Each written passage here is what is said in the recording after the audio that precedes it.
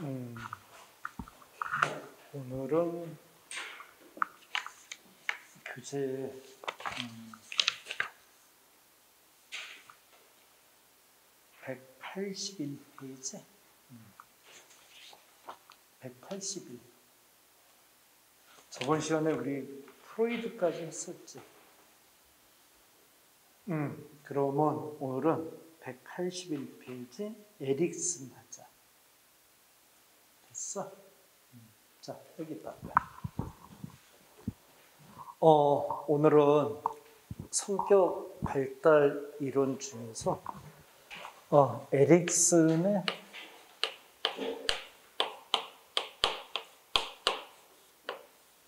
음, 성격 발달 이론 하자.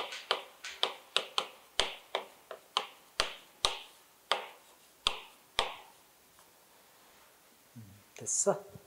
자, 보충 자료도 이렇게 좀 펴놓고.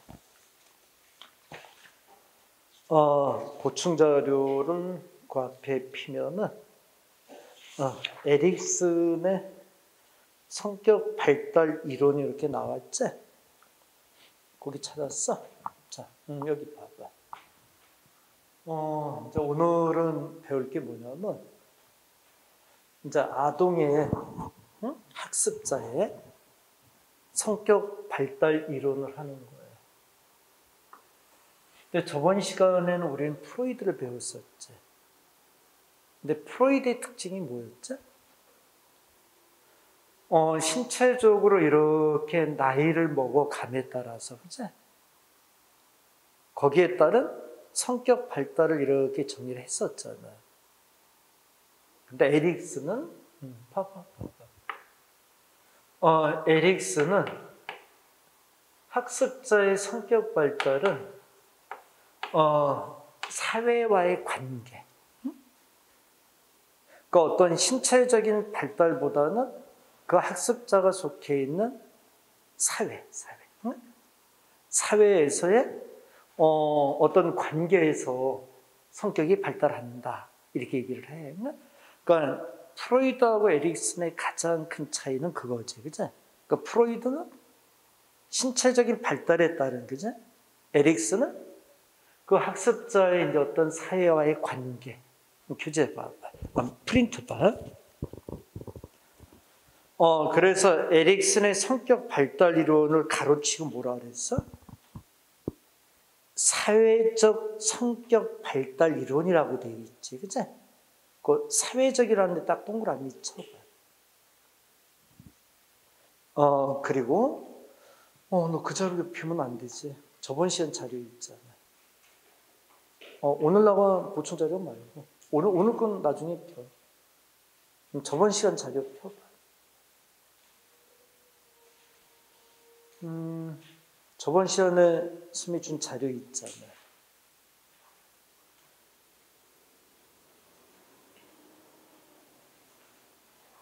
음, 거기서 에릭슨 설명된 페이지를 파봐. 찾았어? 어, 앞에도. 음, 거기, 거기, 거기. 어, 거기 보면은 에릭슨의 성격 발달 이론에서 심리 사회적 성격 발달 이론이라고 되어 있지. 그 사회적이라는 데 동그라미 딱 쳐봐. 그리고 그 밑에 기본 개념에 좀 봐봐. 어, 에릭슨은 프로이드의 성, 어, 발달 이론을 기초로 해서 사회적 관계에 따른 거기 딱 줄치고 어, 사회적 관계에 따른 성격 발달 단계를 여덟 단계로 나누고 있다. 여덟 단계 딱 줄치고 어, 그리고 발달 단계는 상호 관련성이 있다고 보았다. 이렇게 그치? 상호 관련성. 얘기 됐나? 자, 그러면 여덟 단계가 어, 성격 발달 단계로 이렇게 이제 구분이 돼 있잖아. 그치? 근데 그 프린트에서는 지금 다섯 단계가 이렇게 돼 있지 않니? 어, 신뢰감 대 불신감, 자율성 대 수치심 및 적, 의심, 어, 주도성 대 뭐 죄책감, 근면성 대 열등감, 자정체감 대 어, 그치? 역할 혼미. 이렇게 해서 쭉 이제 설명이 되어 있는데, 근데 이 표보다는 이 표보다는 어, 뒤에서 한번 다시 표를 보여줄게. 일단 그 밑에 교육의 시사점으로 내려가 봐봐. 어, 교육의 시사점에서 그 읽어봐. 교사는 청소년기 학생들의 자아 정체성이 어, 탐색이 중요하다는 걸 알고 있어야 하며 학생들의 방향이 방황이 심리적 그제 유예기를 나타낼 수 있음을 유념하고 학생들의 장기적인 목표를 추구할 수 있도록 도와줘야 된다. 그 교육적인 시사점에서 그 부분 잘 챙겨는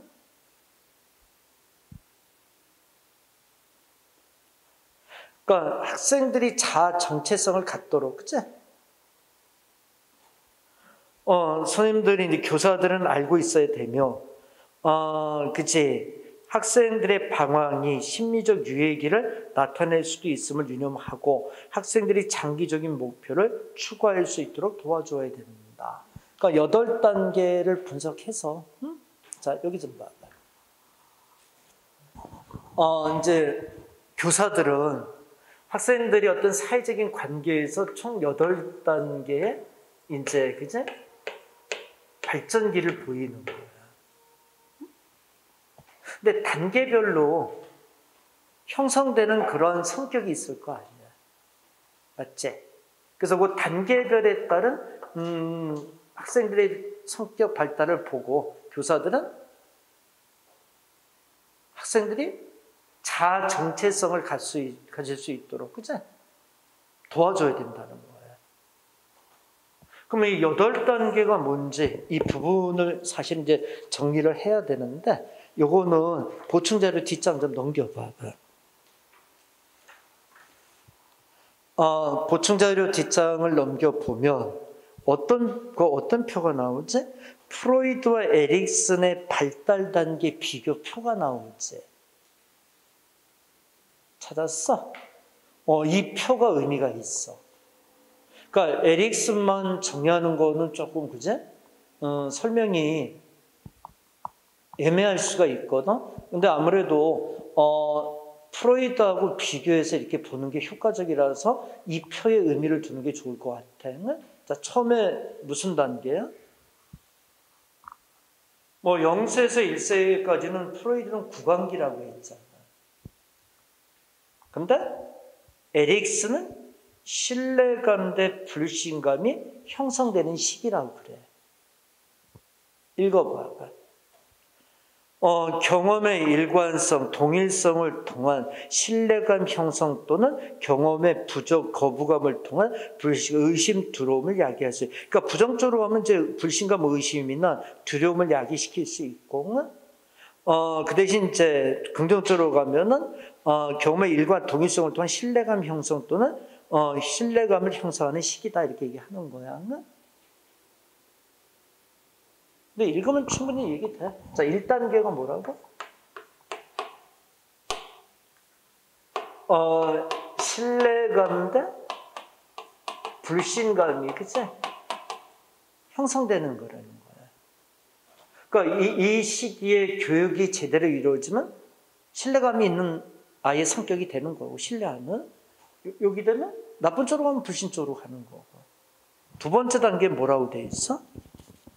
어, 프로이드 학문기에 해당이 되는 시기로서 자율성 대 수치감을 갖는다 이렇게 돼 있어.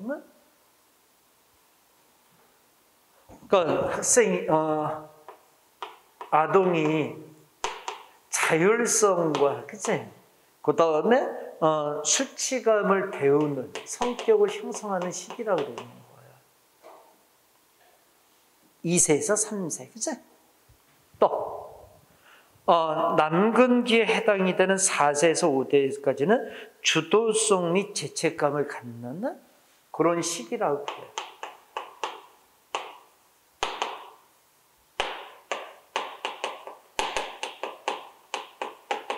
그리고 어, 그 다음에 잠복기에 해당이 되는 시기는 어, 6세에서 11세로 근면상대 열등감.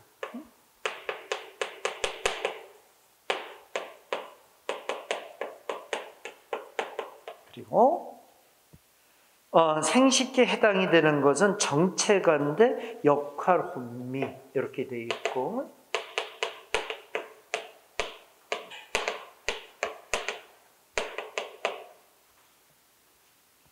어, 그 다음에 이제 여기 여기 보자. 어, 프로이드는 요 다섯 단계까지만 구분을 했잖아, 그죠? 그래서 주로 아동 시기의 어떤 이제 성격 발달에 의미를 뒀었잖아. 근데 에릭스는 이후까지도 계속 분석을 해. 자, 그 다음에 뭐로 돼 있어? 19세에서 20세기에는 어, 친밀감 대 고립감 형성 시기라고 그래. 이런 성격이 는 여름 나이 때지, 여름 나이 때. 어, 친, 친밀감 대 고립감. 그치? 그 다음에 25에서 54세까지가 생산성 대 정, 어, 그치, 침체감. 이런 의미라고 그래. 음. 자, 여기 좀 보자. 그리고 어, 55세 이상 노년, 도, 노년기에는 어, 통정성 대 절망감 이렇게 되는 거지, 그죠? 자, 여기 봐봐. 음. 근데 이, 이 부분이 문제가 많이 나와. 그러니까 좀 이따 이제 문제를 풀면 알겠지만은 어떠한 현상이 나타났을 때 그것은 어디에 속하는가, 어느 단계에 속하는 것이냐, 이게 설명이 나와. 또, 근면성과 열등감은 어, 프로이드 어느 기와 같은 건가? 어, 이렇게 문제가 나와. 그럼 이걸 좀 잠깐 이제 설명을 좀 하자. 네? 자, 일단 여기 봐봐. 근데 이건 말을 그대로 풀면 돼. 처음에 이게 몇 살이었지? 0세에서 1세까지잖아. 그죠? 생각 잘 해봐. 이때 여러분 어떤 상태였니? 여러분들이 뭔가 스스로 할 수 있는 게 없는 상태지.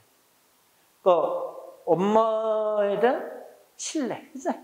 그러니까 엄마가 역할을 다하고 아기는 어때? 엄마에 대한 신뢰감을 갖고, 그죠? 의지하는 단계이지. 근데 신뢰감이 형성이 안 되면 이제 불신감이 될 수도 있는 거고, 그죠? 근데 요건 몇 세에서 몇 세까지야?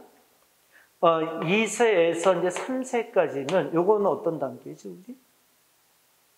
이제 혼자서 일어나서 걷기 시작하면서, 그제? 조금 주변과의 이제 어때? 활동 영역을 넓히는 시기잖아. 그러다 보니까 자율성이 생기기 시작하는 거지, 그제? 그러니까 잘 성장 우리 했던 과정을 생각을 해봐. 어, 자율성이 떨어지면 예를 들어서 이제 걷는 게 안 되면 어떻게 돼? 수치감을 느끼는 거고, 그치? 그리고 어때? 자기가 이제 오줌 싸고 여러분도 어려 요, 요 나이에 어때? 오줌 싸고 이렇게 똥 싸놓고 나서 막 울잖아, 그치? 그 왜 우는 거야, 니? 음. 수치감이라 볼 수 있는 거야. 요건 몇 살이야? 어, 4세에서 이제 5세까지로, 그치?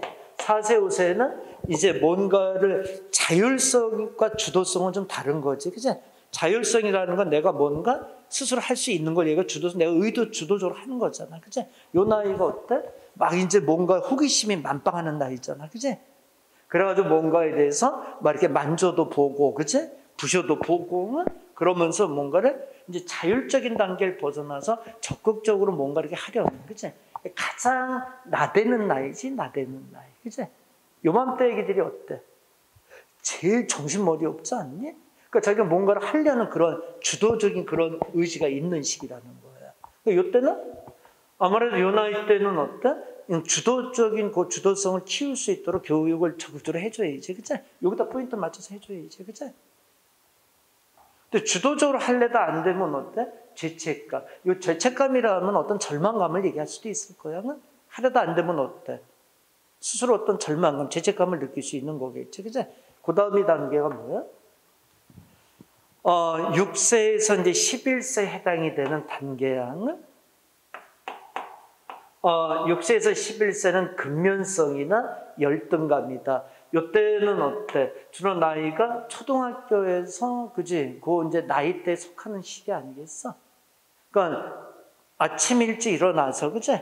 뭔가 이제 좀 더 어, 주도적인 걸 보다는 좀 더 이때는 boundary가 넓어지잖아, 얘들아도 그지? 요, 요, 요 나이에 어떻게 되는 거야?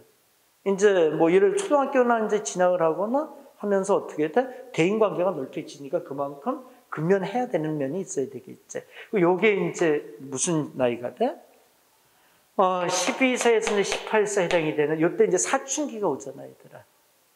맞지? 사춘기는 정체감이 자기에 대한 정체감 때문에 혼란 때문에 오는 거 아니야? 나는 누굴까? 그죠? 요게 사춘기 시단이 되는 거 아니야? 근데 만약에 거기서 정체감을 못 얻으면 역, 역할혼미라는 게 이제 사춘기로서 부작용적으로 나오는 거겠지, 그죠? 이해돼? 이해를 해, 이해를. 좀 이따 왜, 선 이걸 이해하라 그러는지 좀 이따 보면 알아. 어, 친밀감은 요게 나이가 몇 살이야? 어, 19세에서 몇 세로 늘어나? 24세. 그러니까 여러분들 시기인 거지. 요거는, 여기 봐. 여기는 뭐가 시작이 되는 거 아니야? 본격적인 사회 생활이 시작이 되는 거지. 그지 않나? 졸업하고 어때? 취업을 한다든가, 그지? 아니면 대학을 진학한다든가, 기존에 자기가 알고 있었던 바운드를 벗어나서 좀 더 사회가 넓어지는 관계에 있는 거지, 그지? 그러려면 어떻게 해야 돼? 그 사회생활을 하려면 대인 관계에 있어서 친밀감이나 이런 게 돼야 돼. 근데 안 되면 이제 고립감이 되는 거지, 이게 형성이, 그지? 그 다음에, 요 나이는 한창 일할 때이죠, 근데, 그지? 어, 어디서 이제 근무하던 최대한 어, 이제 생산적인 활동을 할 시기인 거지, 그지? 마지막은 뭐야? 통정성이나 절망감은 통정성이라는 게 뭐지? 세상 다 그렇지 뭐, 다 이해를 다할 수 있는 거야. 그러니까 이 나이가 돼서 이제 55세가 노년기로 접어들면 세상 이해 못할 게 뭐 있겠어, 그지? 그리고 모두 생겨? 절망감도 생기죠, 여러분들. 다 살았나 보다. 이런 식의, 그지? 그러면 자, 여기 좀 보자.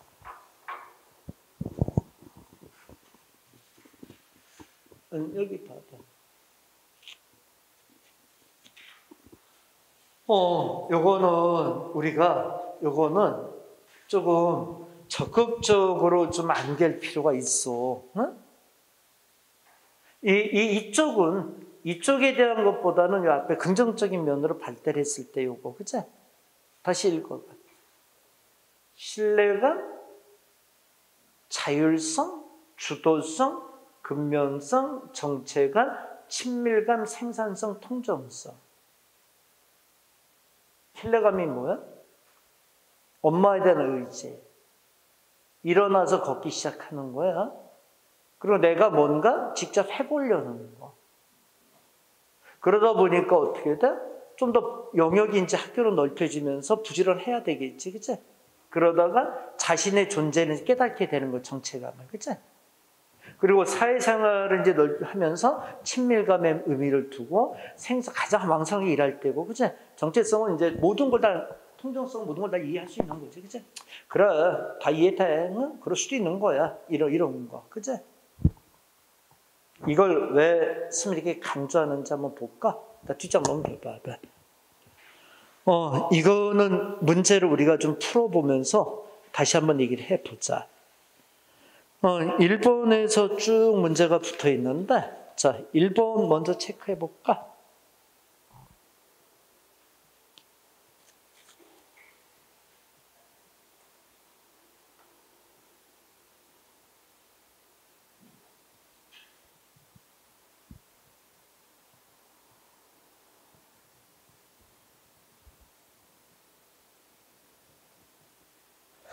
가장 와닿던 표현이 뭐야? 사회적인 환경. 그치? 맞나? 그러니까 성격 발달을 사회적인 환경. 그치? 그리고 마지막에 어, 성격 발달은 성인기 이후에도 점진적으로 계속된다. 여기 머리 틀어봐. 어, 프로이드는 5단계에서 끝냈잖아. 근데 에릭스는 노후까지도, 그치? 오케이. 몇 번 다음이야? 2번은? 그 다음 문제 풀어봐봐. 음, 이, 이런 문제가 많이 나와, 에릭스는. 잘 생각해서 골라봐.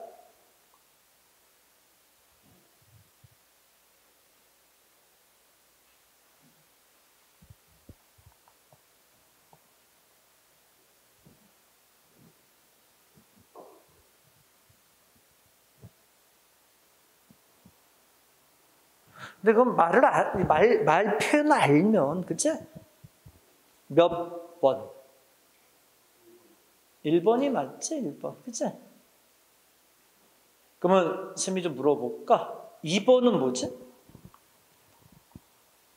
어, 짧고 간단한 숙제부터 시작해서 점차 양이 많은 과제를 내어주고 항상 점점 점검점표를 설정해서 어, 목표를 향해 열심히 학습하도록 격려한다.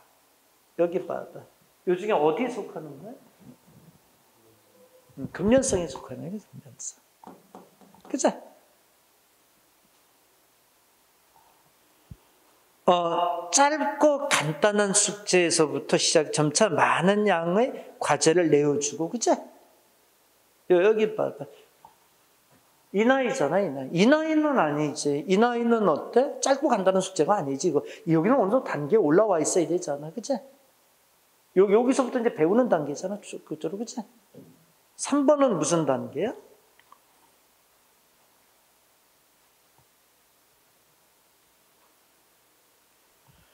어, 유명한 위인들의 생일을 표시한 달력을 만들어 각각의 생일마다 그 사람의 업적에 대해서 토론하고 자신의 미래 직업에 대해서 탐색하게 된다. 여기서 가장 포인트적인 얘기가 뭐예요? 토론하고 자신의 미래 직업에 대해서 탐색하게 된다. 이게 포인트 아니냐? 어디야? 음, 정책, 매 차하 정체감이지, 그치? 음. 마지막은 뭐야?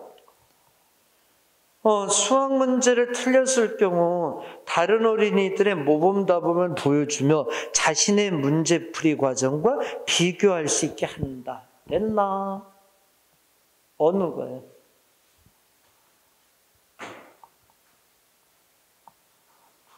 응? 그죠, 그죠, 근면성. 이것도 근면성이지, 그죠? 근면성의 단계잖아, 그죠? 자, 3번 문제 답 찾아봐. 어, 왜 스미 이 단계를 다 이해하라 그랬는지 알겠어? 근데 이런 건 암기해서 푸는 거 아니야? 응? 자, 몇 번 답일 것 같아? 어, 에릭슨의 사회심리적 발달 이론에서 볼 때, 다음과 같이 지도한 결과로 형성되는 것과 관련이 있는 것은 자서전을 쓰게 한다. 자신의 약점과 장점을 스스로 평가하게 한다. 학습 내용이 직업에서 어떻게 활용될 수 있는지 생각하게 한다. 근데 두 번째가 가장 포인트적인 얘기 같아. 그게 뭐야? 자, 정체성이라는 부분 아니야? 맞나? 오케이. 몇 번다? 4번. 4번 답이 돼야지. 자, 뒷장 또 넘겨봐. 몇 번 답일까? 4번 문제 또 풀어봐.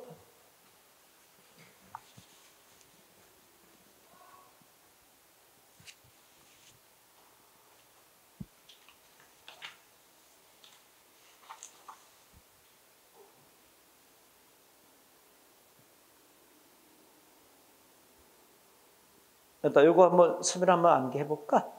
자, 머리 들어보자. 어, 자, 스마고 한번 해봐. 자, 요 다섯 단계 프로이드로 얘기해봐. 자, 처음에 무슨 기야? 구강기. 엄마, 엄마 젖을 빨았을 때, 그치? 두 번째가 뭐야? 항문기, 그치? 배설의 어떤 기쁨, 그치? 세 번째가 뭐예요? 남근기, 그치? 네 번째가 뭐예요? 잠복기, 그치? 맞아? 어, 마지막 다섯 번째 단계가 생식기, 이렇게 나눴던 거 아니야? 그럼 여기 봐. 근면성 및 열등감은 잠복기에 해당이 되는 거 아니야? 프로이드의 잠복기하고 같은 거잖아. 자, 다시 한번 남겨자. 머리 들어보자. 자, 불러. 프로이드 다섯 단계 다시 불러봐. 구강기, 항문기, 난근기, 잠복기, 그치? 생식기, 이렇게 다섯 개로 구분해. 그게 에릭슨의 어느 단계와 연결이 되는지 비교해야지, 그치? 맞나? 어. 자, 그러면 답은 몇 번이 답인 거야? 음, 4번이 답이 돼야지. 자, 5번 문제 또 풀어봐.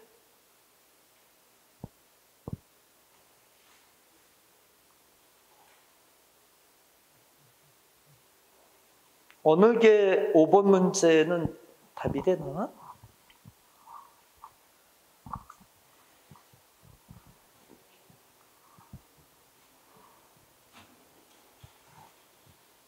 1번은 어때? 어, 프로이드는 개인의 성격을 원초와 자, 초자로 구분했다. 그치? 맞지? 근데 여기서 프로이드가 어느 쪽에 의미를 더 부여했어? 원초와 쪽에 의미를 많이 부여했잖아. 원초와는 우리들에게 잠재되는 본능적인 걸 얘기하잖아. 그치? 쫙 가라앉아, 전의식에 이렇게 가라앉아 있는 표 있잖아, 그림. 그 그림 기억나? 여기다 다시 한번 들어봐. 어, 프로이드가 우리들의 어떤, 그지, 정신 세계를 그릴 때, 어, 그지, 전의식의 세계, 의식의 세계, 나, 가라앉아 있는 세계지, 빙하시로 이렇게 그려주지 않았어? 이렇게 수면 안에 가려져 있는 게 원초하잖아, 그지? 자, 초자, 이렇게 됐던 거지. 그죠? 맞나? 근데 프로이드는 원초의 의미를 참 많이 부여했어. 이드, 이드. 그치? 맞나? 자, 그러면 그 다음 문제 또 풀어봐. 아, 아, 2번은 답은 어때? 이게 틀렸지. 이게 왜 틀렸지? 남근기는 어디에 해당이 됐어요, 중에? 음, 그치? 나이가 2세에서 3세 2단계는 아니지. 2단계는 무슨 단계? 항문기지, 항문기. 4세에서 5세, 그지? 이게, 이게, 그지? 남근기지. 이번이 틀렸다, 야. 에릭스는 성격 발달을 8단계를 제시하고 3단계에서 주도성을 형성할 수 있다고 보았다. 여기 봐. 3단계 주도성. 여기 나왔죠? 오케이. 4번은 어, 프로이드의 성격 발달 이론은 행동의 무의식적 결정률을 강조, 무의식적인 결정률, 이게 초, 초자, 원초화를 얘기하는 거, 원초화는? 성격 연구의 새로운 방향을 제시했다. 그러니까 행동의 무의식적인 결정 요인, 그걸 원초화, 응? 원초화를 얘기하는 거야. 응? 자, 그 다음 9번, 8, 6번 문제 풀어.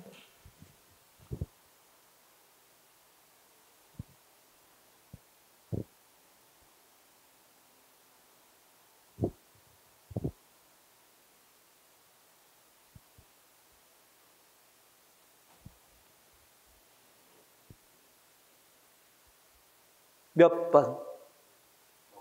음, 4번이 틀렸죠? 어, 잠복기는 근면성 아니겠어? 그지? 근면성. 7번 문제 풀어봐.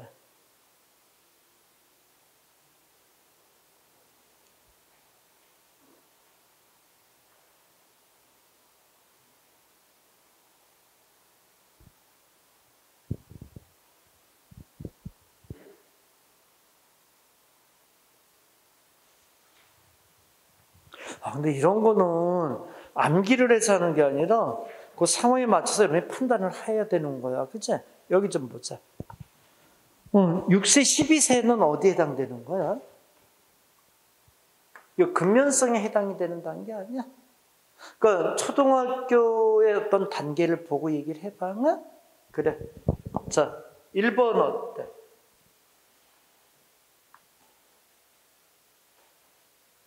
틀렸지? 아까, 아까, 아까 얘기 나왔는데 어떻게 나왔지? 쉬운 문제를 내주고 쉬운 문제에서부터 어려움, 점차 어려운 문제를 이동하게 해줘야지. 그치? 아니, 얘들아. 초등학교 때 들어오자마자 막 그냥 고난이도의 문제를 주고, 그치? 아, 이건 애들 성격 버리지, 그치? 쉬운 문제에서 어려운 문제로 이동이 돼야지, 그치? 2번 어때? 고의적이지 않은 실수에 대해서 인내심을 가진다. 3번 어때? 아, 이거 경쟁시키면 안 되지. 그치? 애 성격 버리지. 4번 어때? 실수를 줄이기 위해서 가능한 학생들에게 작업을, 아니야, 이거 그렇게 되면 애들은 뭘 배워? 그치? 어떻게 해야 돼? 실수를 하더라도 아이들에게 위임해야지. 그치? 잠깐만, 여기서는 시행착오를 겪으면서 뭔가의 어떤 자의에, 그치? 정체성을 찾아가는 과정을 해줘야지, 그치? 초등학교 때 이럴 때는 애들이 좀 뭔가 시행착오적인 걸 많이 겪는 게 좋아. 그래야 나중에 그 다음 단계 정체성을 찾는데 도움이 많이 되잖아, 그치? 오케이. 몇 번 다? 2번. 응? 자, 마지막 문제, 8번 문제 저번에 풀었지? 자, 그러면 이제 여기 좀 보자. 어, 그다 그러면 이제 우리가 규제를 와봐. 어, 181페이지 에릭슨의 사회 심리적 성격 발달 이론해서 뒷장 쭉 넘겨봐. 어, 184페이지까지 이렇게 그지 이제 돼 있잖아, 그지? 거기까지를 이제 다 정리한 거야. 응? 근데 뭐 책에 있는 표현들은 한 번 시간 있으면 읽어봐. 응? 선생님 개인 생각은 지금 다 정리했다고 보는데, 어, 근데 더 추가적으로, 근데 이런 게 있더라. 뭐냐면, 여기 봐봐. 그러니까 교재에 나와 있는 이 표현을 암기해서 문제 푸는 건 아니야. 그치? 예를 들어 한국사나 뭐 이런 행정법 같은 경우는 어때? 있는 내용을 암기해서 풀어야 되잖아. 근데 교육 학이 들어가는 건 그렇게 풀면 안 돼. 학이 들어가는 과목은 어떻게 풀어야 돼? 이해를 하고 문제를 풀어야 돼, 학은. 그래서 어, 교육학 같은 경우도 그 단계 단계 어떤 구분 에릭슨이 기본적으로 갖고 있는 사상, 그치? 그것만 딱 이해를 하고 거기에 따른 문제를 해결을 해 나가야지, 그치? 맞나? 자, 그러면 이제 교재에 이제 우리가 어, 이제 학습 이론으로 들어가자. 자, 요거 선물 주면서 마지막 정리하고 학습 이론으로 들어가 볼까? 자, 여기 봐봐. 자, 에릭슨과 어, 프로이드의 성격 발달 이론.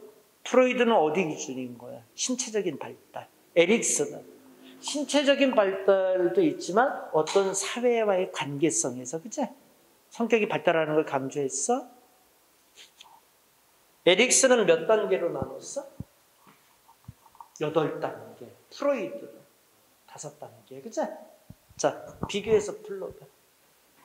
1단계가 0세에서 1세, 프로이드. 구강기, 에릭슨, 신뢰감, 엄마에 대한 신뢰감. 2번 두 단계, 에릭 프로이드, 학문기, 에릭슨, 자유에서 일어나는 거 있잖아. 어. 세 번째가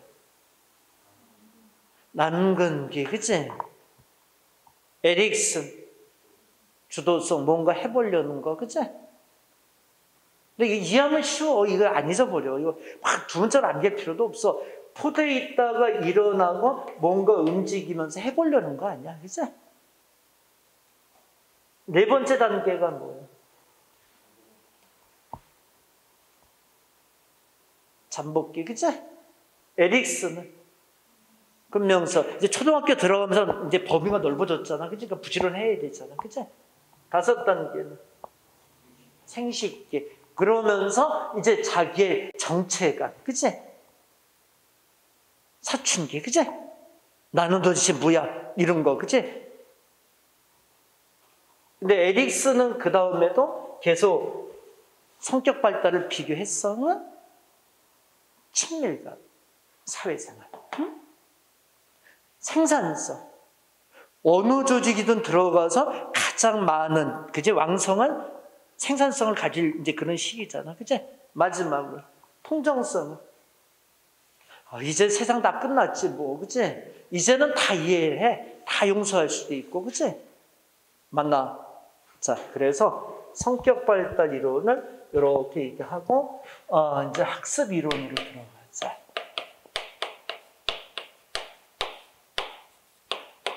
음, 자, 학습 이론을 교재 어, 185페이지를 쫙 펴봐. 그리고 오늘 나간 자료도 나 옆에 펴놓고, 자, 음, 어깨 좀 펴봐. 그래서 저기 이렇게 뭐냐면, 어, 교육학은 있잖아. 그냥 그때 그때 이렇게 진도 나가는 거에 맞춰서 그냥 반복해서 보고 나중에 따로 볼 생각하지 말고 그냥 그렇게 정리를 해버려. 그리고 쌤이 특히 주는 자료 잘 챙겨놓고 그러면 사실 교육학은 더 이상의 어떤 의미 없어. 이 정도 선에서만 끝내면 돼. 절대 너무 깊게 이렇게 빨려 들어가면 안 되겠지. 그치? 그 점을 항상 명심해. 자, 그러면 이제 학습 이론은 뭔지 얘기해보자. 여기, 여기 보자. 우리가 이제 학생의, 학습자의 인지적인 발달을 처음에 봤잖아. 그치? 그 다음에 뭐 봤어? 사회성의 어떤 발달을 봤잖아. 그 다음에 뭐 봤어? 도덕성의 발달을 봤잖아. 콜보고 이런, 그치? 그 다음에 뭐 봤어, 이제? 성격의 발달을 봤잖아. 그치? 그래서 학습자가 가지고 있는 그런 이제 다양한, 그치? 그런 어, 심리적인 어떤 발달을 봤단 말이야. 근데 이제 뭘 가는 거냐면, 이런 학습자가 어떤 이제 배우는 그런 단계가 있을 거 아니야. 배우는 과정에서 나타나는 특징들이 있을 거 아니니, 그치? 그거를 이제 한번 정리를 해보자라는 거야. 이런, 이런 개인이 갖고 있는 특징에다가 어떤 배우는 과정, 그치? 이걸 이제 더해주는 게 학습이론이라는 거야. 처음에 무슨 주의라고 돼 있어? 학습이론에? 행동주의 학습이론이라고 돼 있지 않니? 그냥 들어봐. 쌤이 그리고 줄칠하는데 돼. 행동주의는 뭐냐면 학습 이론의 행동주의는 저거야. 어, 예를 들어서 우리가 가지고 있는 이제 본능이 있잖아, 본능. 본능이 있자. 이 자극, 자, 본능에 대한 자극이 들어와. 본능에 자극이 들어와. 맞지? 그러면 이렇게 되면 우리는 뭐가 나와? 반응이 나오잖아. 반응이 나오지 않아? 응. 이러한 과정을 학습이론에 대입한 게 행동주의를 얘기하는 거야. 교재, 보충 자료 봐, 보충 자료. 어, 보충 자료에 그 밑에 줄친데 읽어봐. 행동주의에서 학습이란 어, 관찰 가능한 행동이 외부 환경의 자극을 받아 점진적으로 변화하는 것. 외부의 환경의 자극을 받아 점진적으로 변하는 고기 줄 쳐봐.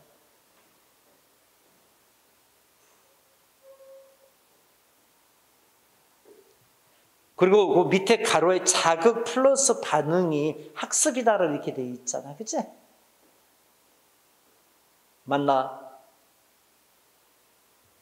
자, 여기, 여기 보자. 어, 요, 요게 이제 합쳐져서 이제 학습. 맞지? 본능의 자극이 더해지면 반응이 오잖아. 그러면 요거, 요런, 일련의 과정을 학습이라고 부르는 거지. 맞지? 행동주의의 이제 기본적 학습 이론이야. 이제 교재로 와봐. 교재에서 185페이지. 어, 거기 학습, 행동주의 학습 이론의 기본 입장이라고 돼 있지 않니? 그 기억번 줄 쳐봐. 관찰 가능한 행동. 니은 행동의 변화. 디귿 학습은 경험, 즉 환경적 자극에 의한 변화이다. 그래서 학습의 개념을 행동주의에서는 그렇게 잡고 있어. 읽으면 돼. 그 밑에 봐. 어, 학습 이론, 행동주의 학습이라는 기본 전제에서 니은 본봐. 어, 학습은 환경적 학습에 제공되는 자극과 자극으로 인해서 어, 인하여 하게 되는 행동, 즉 반응의 연합으로 인해서 발생한다. 거기 줄 쳐봐. 학습이라는 건 학습자에게 제공되는 자극과 자극으로 인해서 하게 되는 행동, 즉 반응의 연합으로서 일어나는 게 학습이라는 거야. 여기 잠깐 얘기 보자. 들어? 나. 행동주의 학습 이론은 간단히 얘기하면 외부로부터 어떤 자극과 바, 저기 그제 영향이 있을 때 거기에다 반응의 과정, 그제 이 과정이 학습이라고 얘기를 하는 거지. 행동주의 포인트야. 행동주의 학습 이론은 문제로 이걸 좀 내긴 하거든. 이 문제 풀어놓고 얘기하자. 자, 뒷장 보충 자료 퍼봐. 어, 보충 자료 뒤쪽에 봐봐. 자, 문제 좀 하나 좀 체크를 해봐. 스미 뒷장 넘기면 기출 문제에서 행동주의 학습 이론 이렇게 묶어놓은 거 있잖아. 그 기출 문제 세 개 묶어놨지? 찾았어? 어, 기출문제에서 행동주의 학습 이론에 관한 기출문제 세 개를 해놨잖아요. 첫 번째 문제 풀어보자. 어, 행동주의 학습 이론의 기본 가정에 대한 설명으로 올바른 거. 몇 번?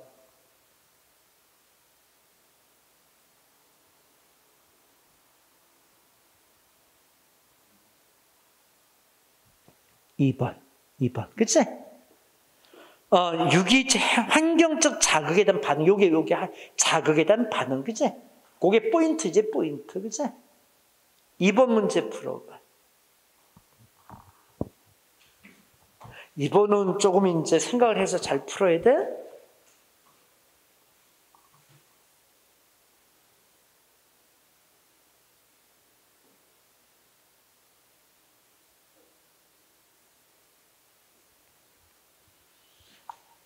어느 걸까?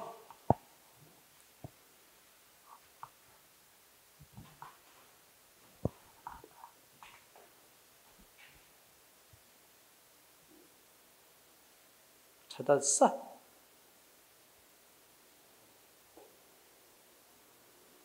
사번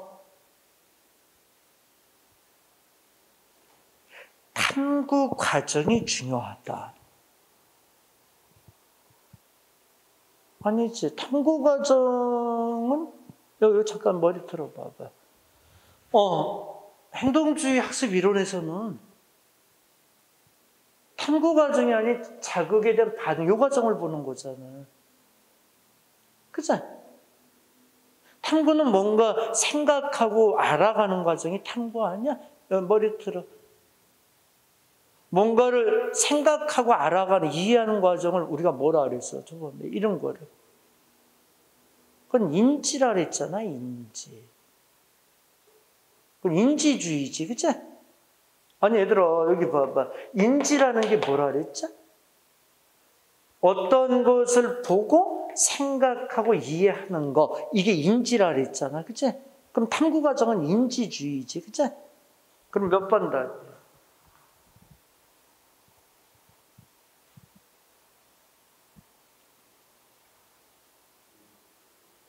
5번, 5번 봐봐. 인지 발달에 따른 건데 인지주의지 이것도 인지주의라고 돼 있는데 5번이 몇 번? 1번 여기 봐봐. 아니야 여기 봐봐. 내적 동기 유발은 아, 바- 외부로부터 자극은 없는 거잖아. 내적 동기 유발이라는 게 외부로부터 자극을 얘기하는 건 아니잖아, 그치?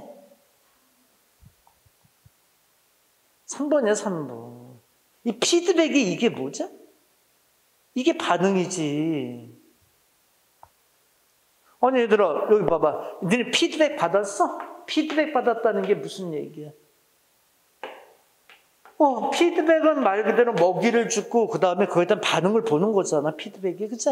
피드가 먹이 주다 백 그거에 대한 반응을 되돌리는 거 그치? 이게 피드백이잖아.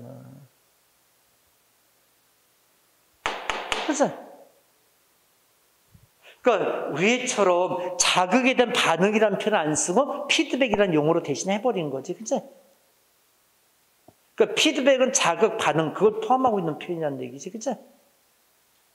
아니 얘들아 피드백을 받으려면 먼저 뭔가 줘야 될 거 아니야, 그치? 거기에 따른 반응을 보는 게 피드백 아니야, 그치? 수미가 맞지 않나? A 찾아내야지. 자, 3번 문제 마지막 깔끔하게 한번 해봐. 근데 행동주의 학습 이론은 요거는 이렇게 문제를 삼더라고. 근데 문제는 나버는데 여기 안에서 나오겠지. 이런 패턴으로. 그죠? 어. 몇 번? 오케이, 오케이. 2번이지, 2번. 그지? 어, 내재적 동기를, 유- 내재적 동기 유발은 이건 인지주의야. 그지? 어, 요건, 어, 아까도 얘기했지만 외적, 외적인 자극. 그지? 내재적인 변이 들어오면 안 돼. 학습, 행동주의는. 어? 얘기 됐나? 오케이. 자, 그러면, 어, 이제 잠깐 쉬었다가, 그럼 행동주의를 얘기하는 학습이라는 얘기는 학자들이 있잖아. 파블로프하고, 그치? 대표적인 학자들에 대한 이야기를 스마운데 쫙또 정리를 해보자. 응? 자, 잠깐 쉬었다 하자.